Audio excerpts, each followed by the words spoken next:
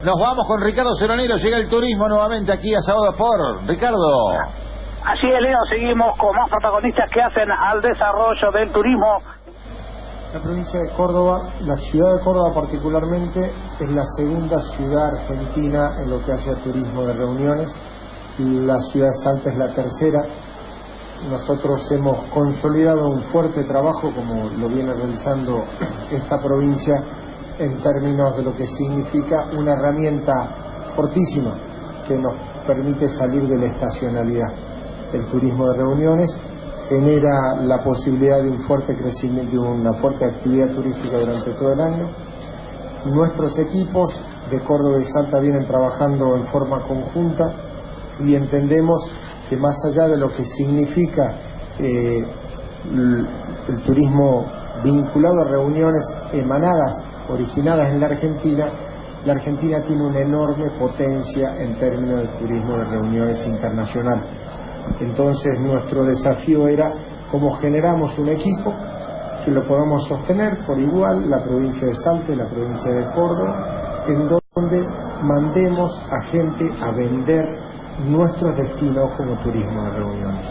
Nosotros tenemos ejemplos eh, realmente muy, muy interesantes en el mundo, en donde ciudades turísticas que generan estas asociaciones, el caso de Barcelona es un caso icónico en el mundo, en donde a través de la asociación con, de ciudades terminan generando una potencia enorme de destino. La Argentina creció muchísimo en conectividad, nosotros estamos acá en el tercer aeropuerto en tránsito aéreo de la Argentina, después de seis hay aeroparques.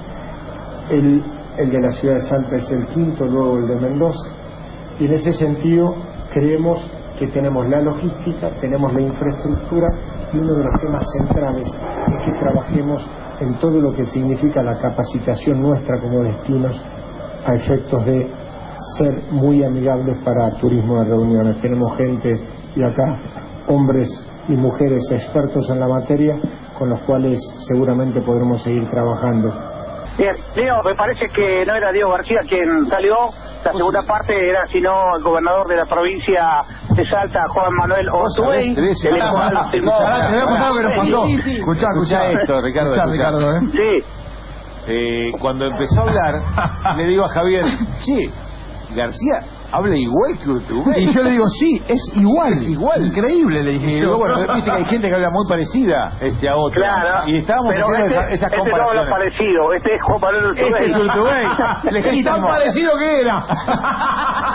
es muy parecido, tan parecido que es Ortubey. Claro. Bueno, eh, para completar esa nota que, que salió al aire, Juan Manuel Ortubey, conjuntamente con el gobernador de la provincia de Córdoba, Juan Esquianete, estuvieron eh, este día miércoles próximo pasado en Córdoba eh, firmando un convenio en el cual eh, amplían el desarrollo, el significado o, o el tema de un producto específico tan importante que es el turismo de reuniones. Firmaron este convenio para avanzar en el desarrollo de ambas provincias, provincias que tienen desde ya en este sector específico del turismo de reuniones una amplia cobertura, pero bueno, firmaron un convenio para seguir adelante y tratando de también de llevar y eh, exponer y promocionar el turismo de ambas provincias. Así que si te parece bien, eh, con la nota de García del próximo bloque... Dale.